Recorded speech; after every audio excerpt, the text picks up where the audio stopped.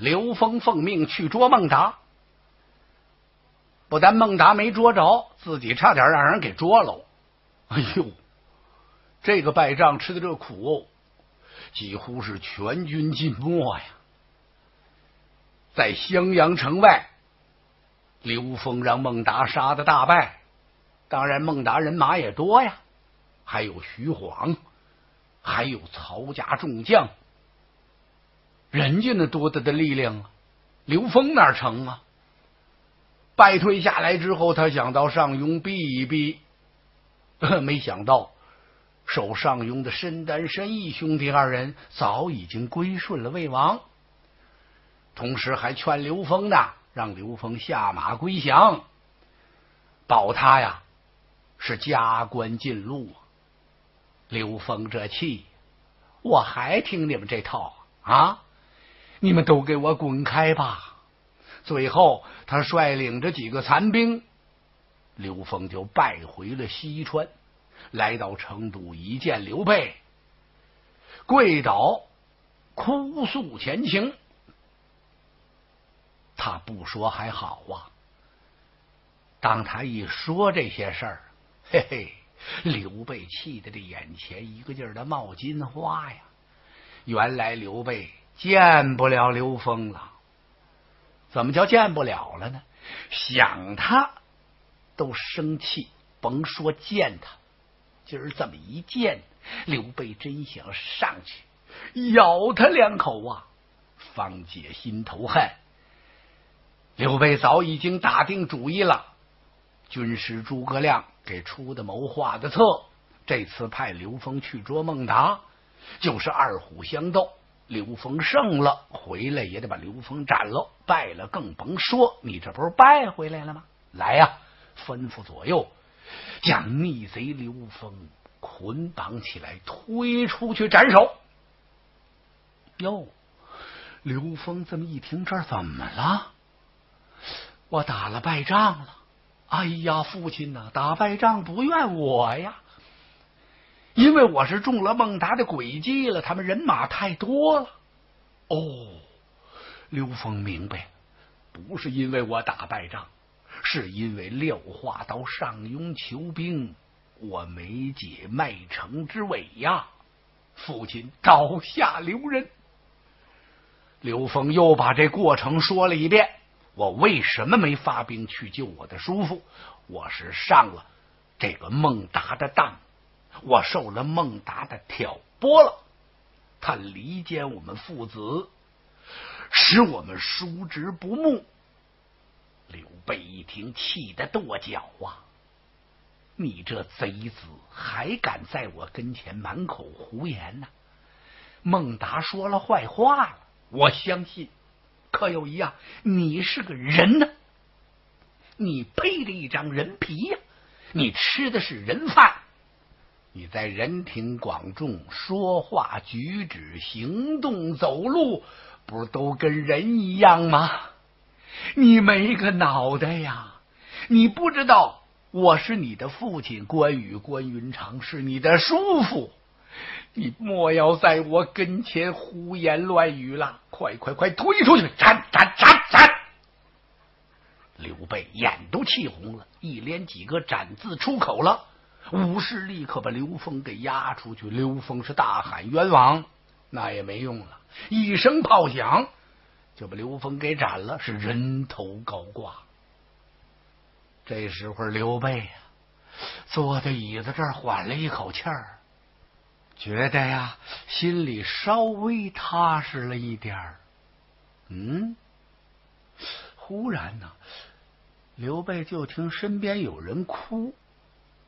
他转过脸来，回头一看，在身旁这儿站着十几个人，一个个是满面泪痕，有两个副将官哭得更加悲切。刘备认识啊，这都是刘封身边的一些个最亲近的军校，也算跟了刘封好多年了吧？哎。刘备把一个副将叫过来，问他：“你哭什么呢？”这副将不问还好，这一问，扑通跪倒在地。他给刘备磕头，替刘封喊冤呢。我家将军刘封啊，是听了孟达的这些坏话，他当时在上庸没法救兵，他做的不对。可是这次，他奉命去讨孟达，是如何长短？他和孟达阵前怎么对的话？别人怎么劝他归顺魏王？他是至死不从。我们刘封将军又说了些什么？您看看，他不是已经知错了吗？主公，您不应该把我家刘封将军斩首啊！哎呦，刘备一听，心里头很不是滋味。怎么呢？不管怎么说，是父子一场啊！刘封在上庸没法救兵，没解这个麦城之围，他是出于一时的糊涂，听信了孟达的一些个流言蜚语。孟达不说这些坏话，那么刘峰还能差一点？这就算一时的过错吧。人非圣贤，孰能无过呀？啊！不管怎么说，刘峰也是个孩子呀，跟着自己鞍前马后这么多年，父子一场，今天我就将其斩首了。哎，刘备听了这副将这番话，他也掉了泪了，立刻吩咐把刘峰的人头从高杆上摘下来，干嘛呀？厚葬刘峰。刘备。这尽一点父子的情谊吧，把刘封给掩埋了。刘备啊，又病了，又想二弟，又想荆州，想关平，想刘封。你看看，他现在都六十多岁了，哪扛得住这么折腾？刘备病了，大家赶忙给主公服药问病。哎呦，这程度啊！所有的文武官心情都很不好，心里都很不静。刘封被斩了，那么那孟达呢？孟达是乐乐呵呵，怎么呢？他亲自来投魏王曹丕，一见面封了他这么一串的官儿，随后又在襄阳这儿由徐晃等众将协助杀败了刘封。他当然高兴了，呵，在襄阳城中给他设宴，给孟达贺功。曹丕也听到这个消息了，说是孟达在两军阵前确实很英勇，对魏王很忠诚啊，真的就把刘封给杀败了，杀的是全军尽没。啊，曹丕挺痛快。曹丕这些日子。一直就处于兴奋之中，就没有孟达来投，他也很高兴。曹丕高兴什么呢？他父亲曹操死了之后，他立刻继了这个魏王的宝座。现在呢，他手下的文武正在劝进，劝进干什么呀？让曹丕称帝，叫他当皇帝。曹丕呀！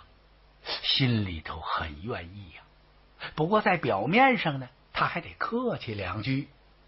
哎呀，他和群臣商量不好怎么办吧？怎么呢？这叫我怎么跟当今献帝去说呀？他手下的大臣华歆、贾诩这些人这么一听，嗨，大王还用您去说吗？我们就去给您说了。我们去劝劝汉献帝，让他让位于您。曹丕听到这没说什么，华歆、贾诩等众人呐，就找汉献帝来，让献帝让位。献帝大吃了一惊啊！哎呦，心说这痛快，这个单刀直入啊！曹操那么凶，保了我二十多年。还从来呀没说出过这样的话呢。哦，曹操保汉献帝二十多年呢，他挟天子令诸侯整整二十四年呢。曹操是在公元一百九十六年，就是建安元年，他把汉献帝迎回许都。公元二百零八年呢，曹操做了丞相了。二百一十三年，他自封魏公了。公元二百一十六年，曹操自己把自己晋封为魏王。那么说，就是从一百九十六年到二百二十年，曹操挟天子令诸侯，整整是二十四年呢。他可以说呀，给他儿子曹丕打的这个天下很牢固啊。曹操始终没有称帝。那么今天华歆等人来到汉献帝面前一说这个事儿，汉献帝一听这。这好吗？这个，哎，华歆冷笑了一声：“万岁，这有什么不好？现在汉室气数已尽呐，那么万岁您呢，就应该效唐虞让贤呐。只有这样做，才算是上合天意，下顺民心呐。”您真正称得起是一位明主，你这才算是个明白人。华歆让汉献帝效唐虞是谁呀？就是唐尧虞舜呐，一个尧王，一个舜王，这是最古代时候的两个皇帝。那么这尧王呢，把自己这个宝座呀没让给儿子，让给了舜帝了。哎，因为舜帝呀很贤良，后来呢，舜又把帝位呢让给了这个禹王了，就那大禹。今儿个华歆呢举这么一个例子。哎呀，汉献帝听到这会儿一皱眉，心说：“我好端端的笑什么唐尧虞舜呢？因为我这是汉室天下呀，传到我这会儿已经四百多年了。”我就把这皇帝宝座让给曹丕。当初他父亲那么凶，曾屡次逼宫，也没让我把宝座让出来。那这事不好吧？华歆把脸沉下来了。万岁，你要好好想一想啊！如果现在你要是逆天意、违民心，我看。与万岁，你是极为不利。说完了，啪一甩袖子走了。这叫给他点颜色看。汉献帝哭咧咧的回到了后宫，跟曹后这么一说。汉献帝现在这个正宫皇娘啊，就是曹操的那女儿。原来曹操为了控制汉献帝，不是把自己的女儿许嫁给他了吗？那么曹皇后呢，就是现在魏王曹丕的妹妹。曹皇后这么一听，当时气坏了。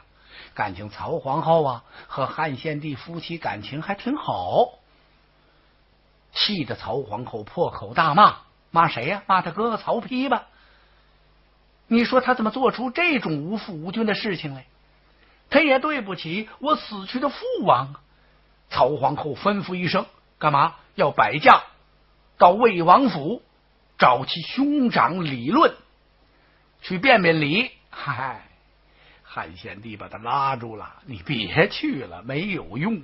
现在你家兄长身边好多人是如狼似虎啊，去了你就回不来了。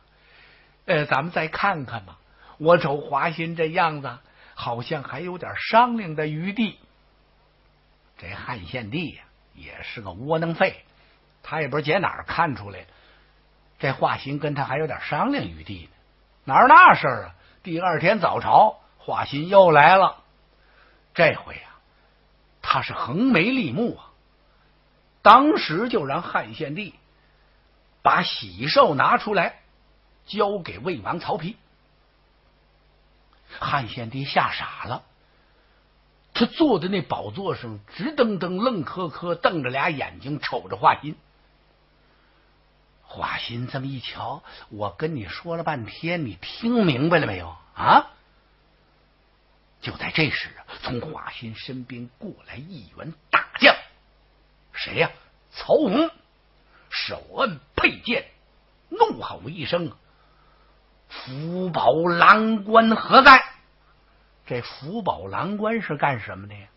就是专门给皇帝管那个印的，就是那玉玺呀。这位福宝郎官呢，姓祖名弼，他就在汉献帝身后边那站着呢，把他气坏了。他一看，这华歆要干什么呀？啊，有哪个大臣在皇帝面前这么横眉立目的，出一胡子瞪眼，用那手啪啪一劲直拍那龙书案？本来祖弼就够生气的了，现在曹洪出班了，暗箭断喝，说：“福宝郎官何在？这找我呢？”祖弼是跨前一步：“福宝郎官在此，我在这儿呢。你们要干什么？”曹洪上下打量了打量他，一伸手让他把玉玺立刻交出。祖弼听到这会儿，他冷笑一声：“玉玺，玉玺是皇帝的宝印，只有掌握了玉玺，才能当皇帝。玉玺有随便送人的吗？啊，一个小明戳也不能逮谁就给谁呀！真是岂有此理！我把你们这群无父无君的叛臣！”祖辈骂上了。曹洪这么一听，气的。怒发冲冠，一伸手，苍狼抻出宝剑，手起剑落，就把祖弼给斩了。这可真是杀鸡给猴看！就在皇上跟前，把掌管玉玺的福宝郎官给斩了。那意思是你交不交吧？不交啊！哼！一回手，你汉献帝也完了。汉献帝都木在那儿了，他赶快吩咐人。干什么呀？啊，快快快快快！笔墨伺候，要笔墨下诏书啊！心甘情愿把皇帝的宝位让给曹丕。华歆拿着这诏书就奔魏王府来，把诏书交给曹丕。曹丕这么一看，喜出望外呀！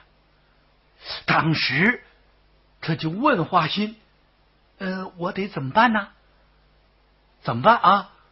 看来我就得面南背北了。可正在这时啊，连龙一挑，由的外边进来了一个人。曹丕一看是司马懿呀，他来到曹丕跟前，深施一礼：“大王，您呐不应该接这个诏书。”嗯，曹丕有点不高兴，当时。脸色就很不好看，心说：“你看看人家华歆、贾诩啊，都在积极劝进，劝我登基坐殿，可你怎么能说出这样的话来？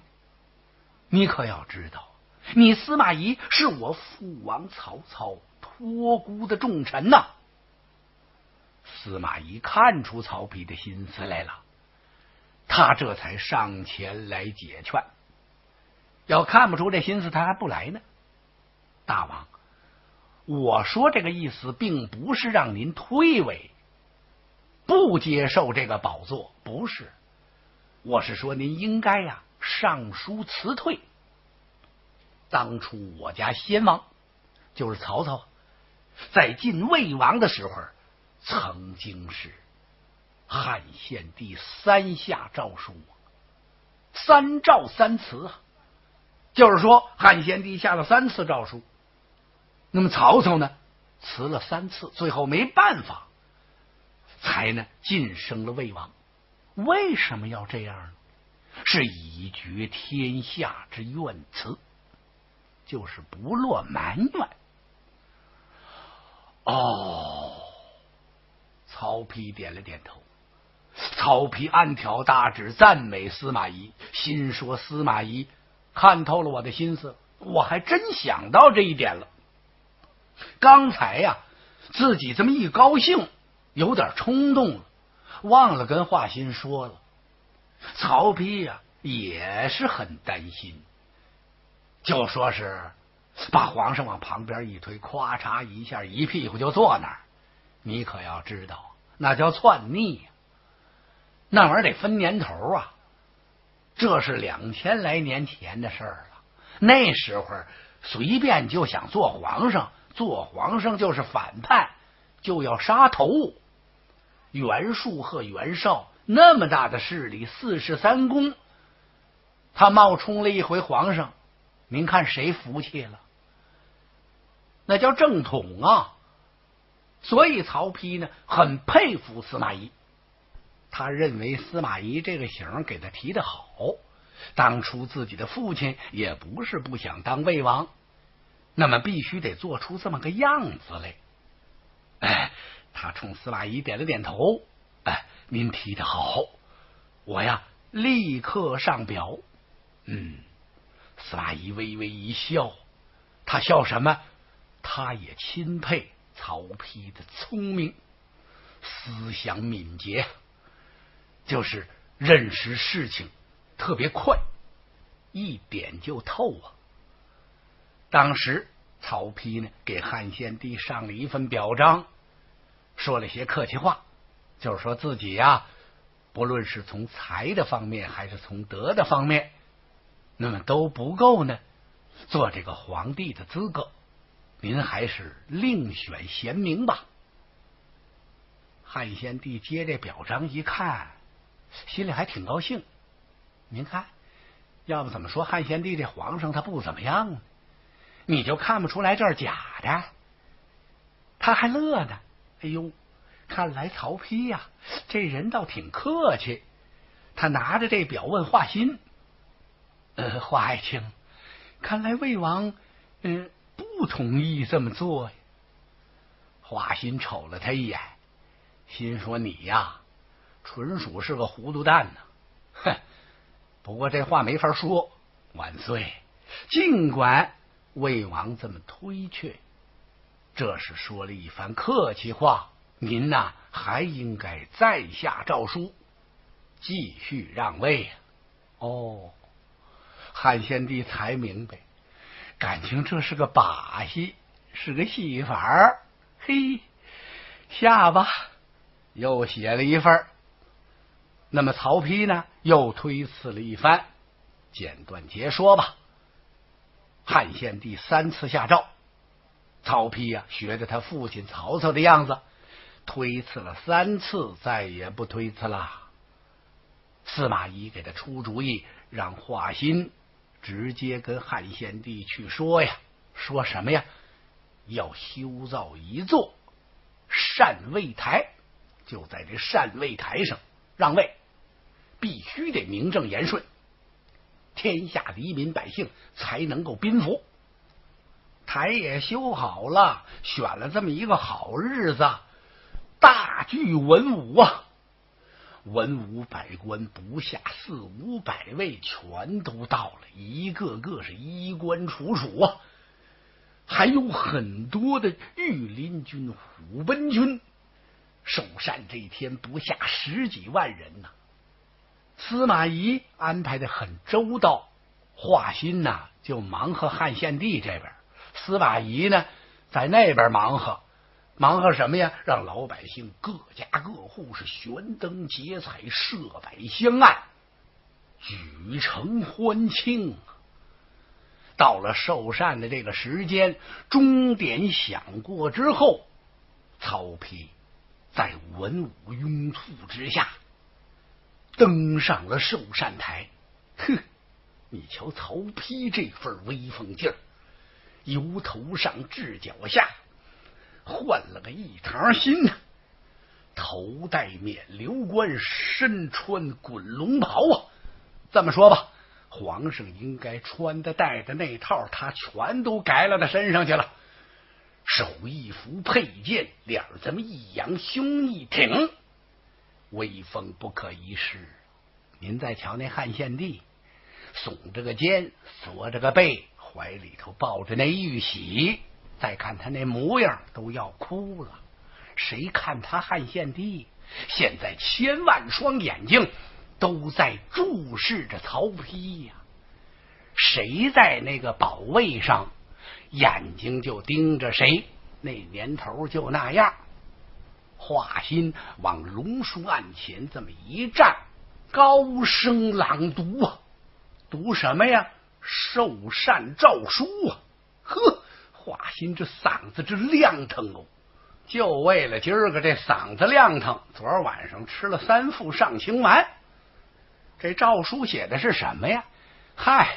就是汉献帝自己说自己是德行不行，现在呀，这个汉朝气数已尽，应该呢效仿当年的尧王和舜王，呃，心甘情愿让贤，把大位让给魏王曹丕，多亏心呢。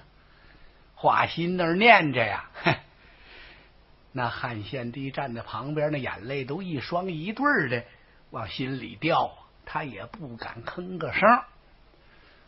等华歆把这个寿善诏读完了，台下是一阵欢呼声。随着这欢呼声，华歆过来，把玉玺接在手里，高高捧过头上。曹丕接受了这喜寿。这时候，华歆一转脸，吩咐一声：“百官朝贺！”哗，众文武一跪一片，只有那汉献帝在那站着。华歆过来，本儿一蹬他那袖子：“你这站着干嘛呀？皇帝那儿坐着，你凭什么站着呀？”汉献帝一瞧：“那我哪儿去啊？你跪着去，就在那台脚那儿。”哦。汉献帝这才明白，感情把那印一交，我也得旁边跪着呀，多新鲜呢！汉献帝呀，就跪在这文武百官的前边，文武百官呐，嚯，那脸上就像绽开的花朵一样，都那么乐呵呵的。只有汉献帝一个人是泪流满面呐。他这时候心里甭提多难过了，他觉得对不起祖宗。对不起，天下的黎民百姓，也对不起自己呀！哎，对不起谁？对不起谁吧？曹丕是不理了。他当时是论功行赏，文武百官各有封赏啊。封这个华歆为司空，封王朗为司徒啊，封司马懿为大将军，全封完了。封一个站起一个来，文武百官都站起来了。就剩下那汉献帝在那跪着呢，他怎么办呢？曹丕看了看汉献帝，又瞅了瞅华歆。华歆一看明白了，他走到曹丕的跟前，小小的声音嘀咕了几句。曹丕点了点头，对，也得封封汉献帝，封汉献帝为山阳公。把他那几个儿子都封成列侯了，实际都是虚衔呐，就给你个名儿，找那么一地方，给那么一个小庄园，有人伺候着，你就在里边那么一眯，就没你什么事了。华歆呐，申斥了汉献帝几句，让他赶快谢恩，从此永不许来朝。如果要不选你，你就别来。汉献帝哭哭啼啼上马走了。曹丕改这个延康为皇初元年，大赦天下呀！探视马把这消息报进了成都。刘备这么一听，曹丕称帝了，他是放声大哭。